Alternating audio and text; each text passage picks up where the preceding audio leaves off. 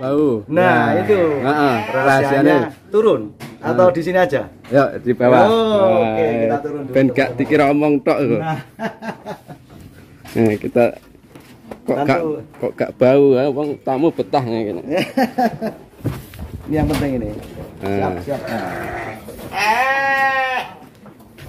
Buka dulu ya teman-teman ya. Nah. Kita buka dulu ya. Nah, siap. Oke. Nah, ini seperti ini teman-teman.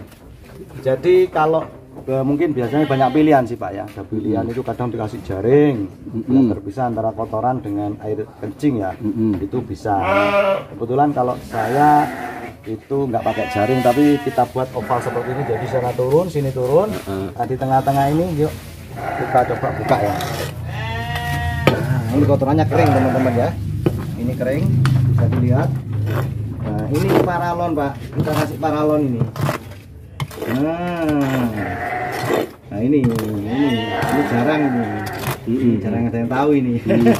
Nah, fungsi paralon untuk Ya. pencingnya. ya jadi ini kita lobangi pak. Nanti ini kita kasih lubang-lubang ya. Hmm. turunnya ke situ pak. Biasa dibuat resapan. Oh. terus ini. Aduh. Aduh, aduh, aduh. Nah ini turunnya ke sini pak Ini, ini ber- ya. berapa? Eh, Dua, eh empat. Eh, kira-kira? iya empat dim Hmm. kita tanam empat dim sampai sepanjang kandang. Jadi air kencingnya otomatis masuk di sini. Masuk. Terus ini ya. Hmm. Ini ke mana ini akhirnya ini? ya nggak ada Ya, ini ini kasih di sini. tanah-tanah aja Hmm. Terus jadi ini yang kering ya. ya Akhirnya kotorannya kering, tinggal ngambil, Hmm, dipakai. gitu. terus satu hal kalau jenengan punya ini manfaatin limbah ini kulit kopi ya Heeh. nah ini kulit kopi itu nanti bisa disebarkan sedikit Sebar di ani ya, Iya, untuk di- mengurangi bau ya. Iya, untuk mengurangi bau. Bisa dicampur juga dimakan di ini, Pakannya. Pakan, pakan, Heeh. pakan keringnya gitu. Oh.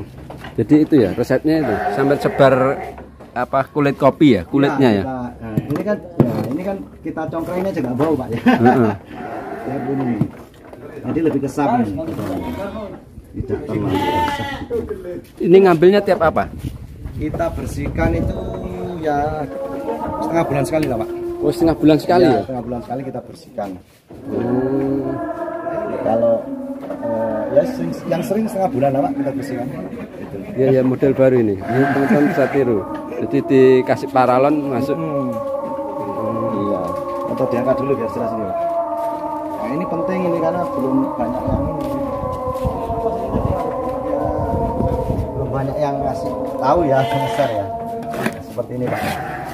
Oke, nah ini teman-teman ya. Kasih. Oh lubang-lubang. Iya, kita kasih lubang-lubang seperti ini nanti turunnya ke sini air kencingnya. Ya ya ya, sip sip sip sip sip. Sederhana tapi bermakna ini. Dan lebih awet pak. Heeh. Ya.